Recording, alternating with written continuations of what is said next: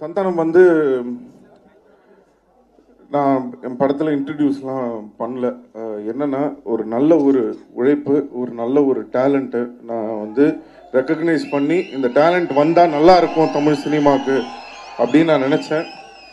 அதை வந்து அவர் இன்னைக்கு வந்து ப்ரூவ் பண்ணியிருக்காரு. இன்னைக்கு இவ்வளோ பெரிய ஒரு இடத்துக்கு வந்திருக்காருன்னு நினைக்கும் போது ரொம்ப சந்தோஷமாக இருக்குது என்னைக்குமே கூட இருக்கிறவங்கள ஃப்ரெண்ட்ஸாக இருக்கட்டும் அவருடைய டீமாக இருக்கட்டும் தன்னுடைய தாய் தகப்பன் மனைவி குழந்தைகள் எல்லார் மேலேயும் அவர் வச்சிருக்கிற அந்த அந்த அன்பு மரியாதை அவங்கள என்றைக்குமே தன் கூடவே கூட்டு போகிற அந்த ஒரு நல்ல உள்ளத்துக்காக தான் சந்தானம் இன்னைக்கு இவ்வளோ வளர்ந்துருக்காரு.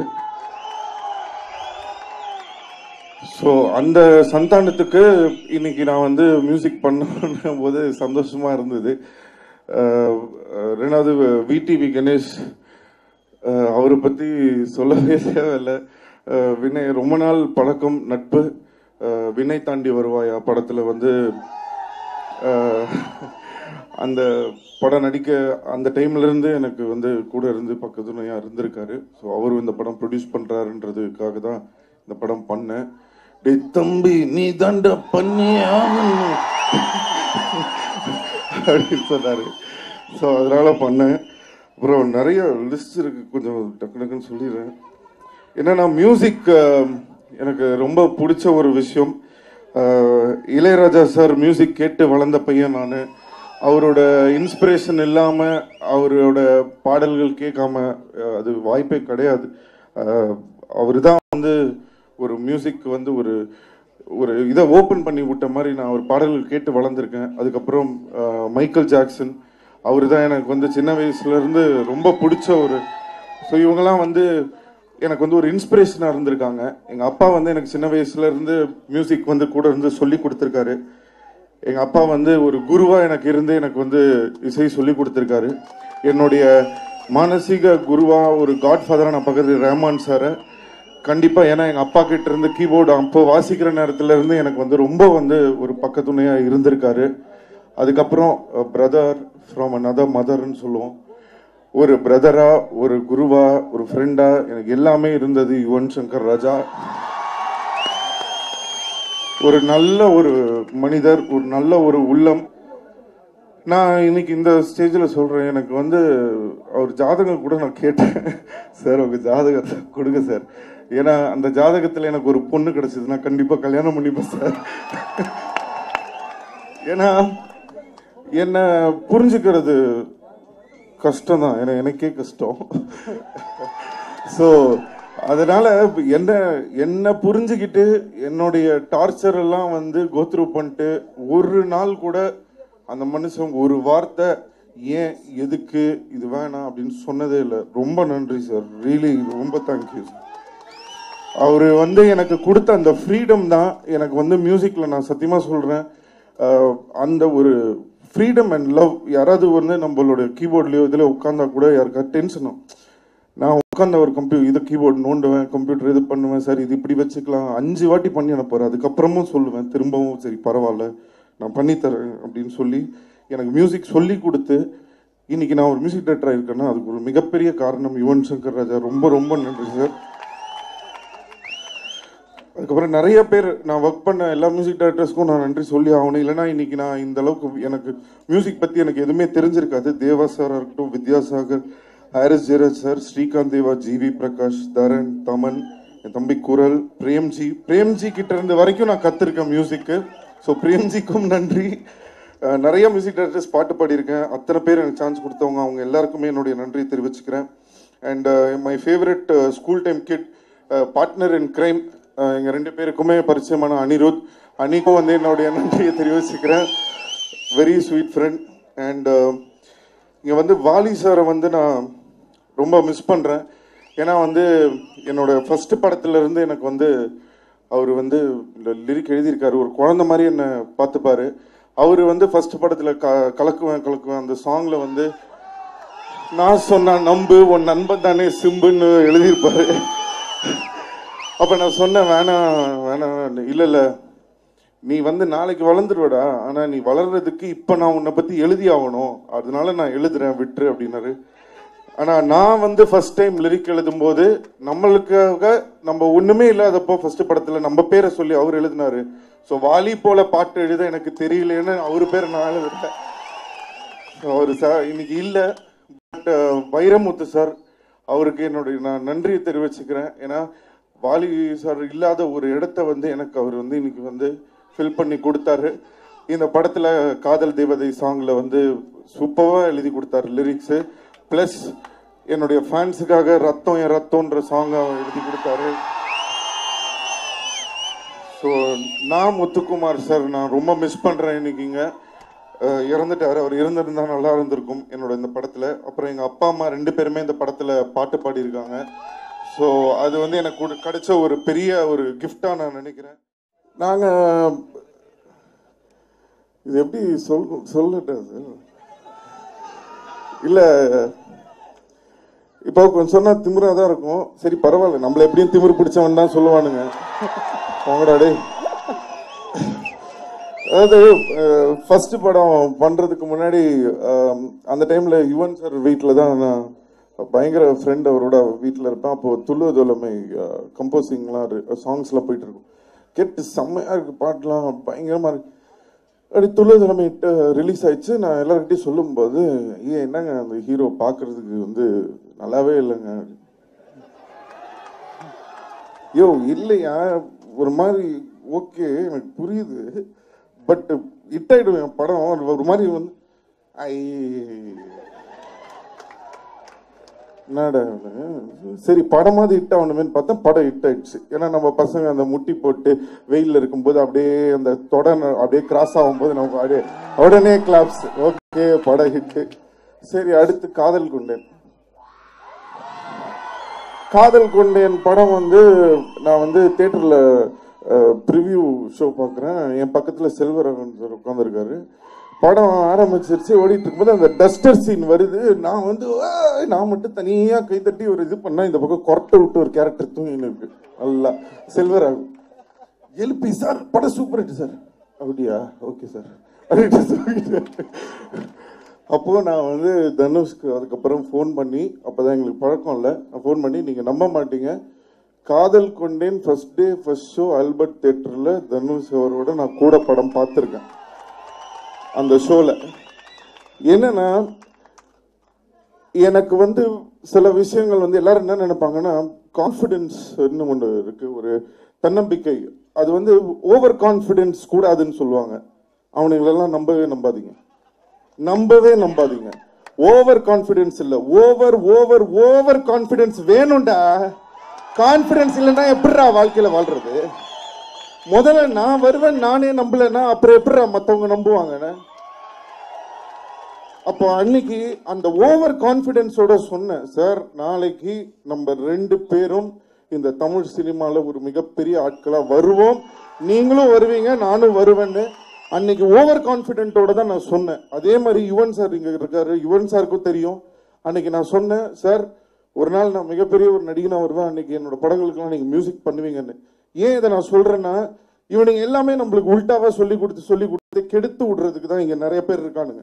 அதனால அவனுங்க பேச்செல்லாம் கேட்கவே கேட்காதீங்க. கான்ஃபிடென்ஸ் ரொம்ப முக்கியம். அன்னையிலிருந்து எங்கள் ரெண்டு பேருக்குள்ள எல்லாரும் வந்து வெளியில் சொல்லலாம் இந்த மாதிரி வந்து போட்டி இப்போ இது இருக்குது அது இருக்குன்னு என்ன வேணால் சொல்லிட்டோம். ஆனால் உள்ளுக்குள்ள ஒரு ரெண்டு பேருக்கும் அப்படி ஒரு ஒரு அன்பு ஒரு உண்மையான ஒரு அன்பு இருக்குது அந்த அன்பு இன்னைக்கு வரைக்கும் இருக்குது அது என்றைக்குமே இருக்கும்.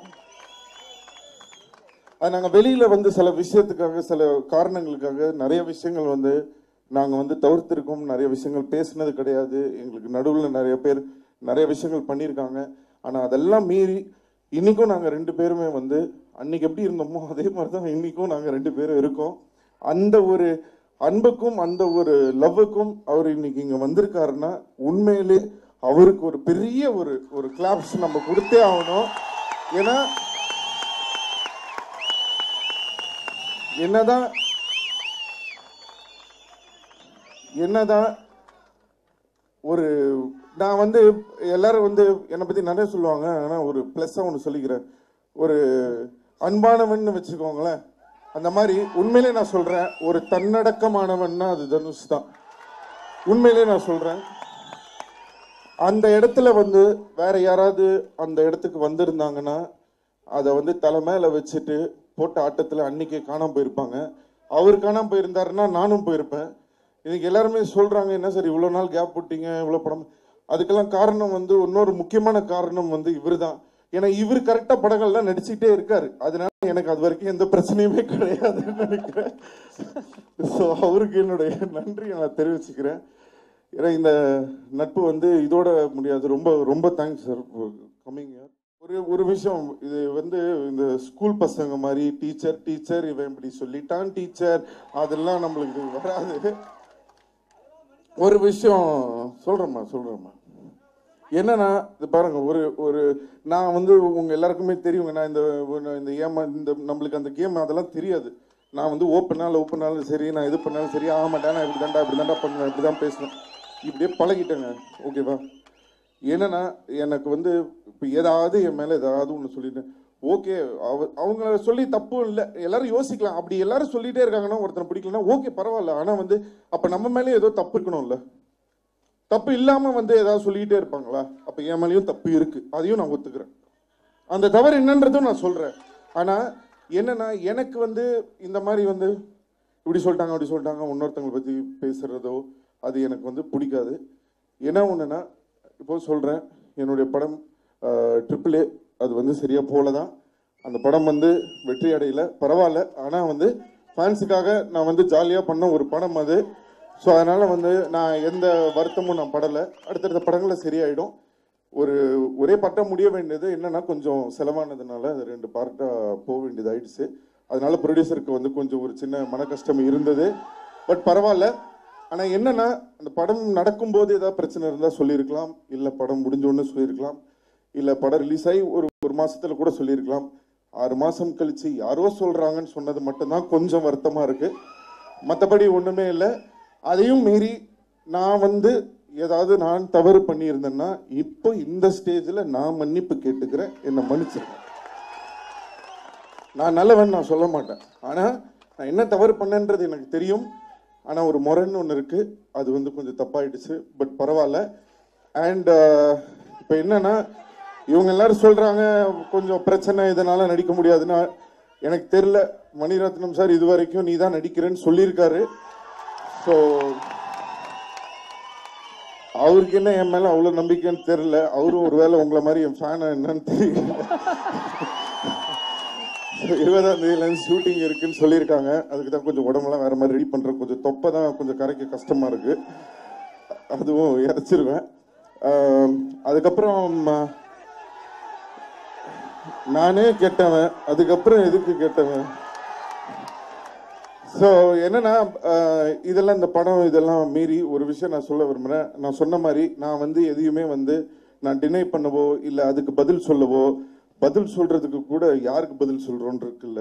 பரவாயில்லைங்க விட்டுருங்க. அதை பற்றி பிரச்சனை இல்லை. நான் இப்போ தப்பு பண்ணியிருக்கேன்னு சொல்கிறாங்களா என் மேலே வந்து குற்றச்சாட்டு வைக்கிறாங்களா? ஓகேங்க நான் குற்றச்சாட்டை கூட எடுத்துக்கிறேங்க. இப்போ என்ன? மிஞ்சி போனால் நான் தமிழ் சினிமா நடிக்க கூடாது ரெட்டு அவ்வளவுதானே ஓகேங்க நான் நடிக்கல. அதனால என்ன? ஒன்றும் பிரச்சனை கிடையாதுங்க. எனக்கு திறமை இருக்கு. எங்க அப்பா அம்மா எனக்கு நல்லபடியா வளர்த்துருக்காங்க. எனக்கு வந்து எல்லா அருளும் அந்த இறைவன் கொடுத்துருக்கான்.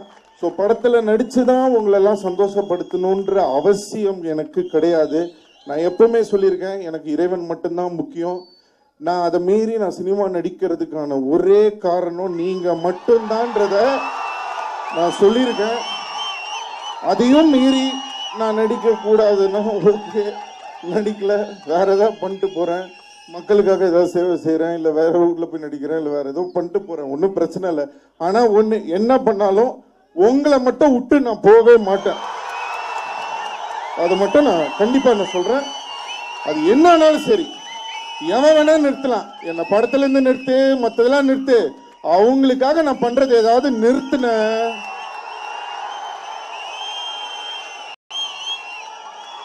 அது மட்டும் வாய்ப்பே கிடையாது. அது நான் சொல்லிடுறேன். இன்னொன்று ஒரே விஷயம் நான் இன்னைக்கு வந்து ஓப்பனாக கிளியர் பண்ணிடுறேன். ஏன் எனக்கும் இந்த உலகத்துக்கும் பிரச்சனை அப்படின்றத சிம்பிளாக ஒரு நாளை வார்த்தையில் சொல்லிடுறேன். ஏன்னா இதை நான் கண்டுபிடிக்கிறதுக்கு எனக்கே இவ்வளோ நாள் ஆச்சு.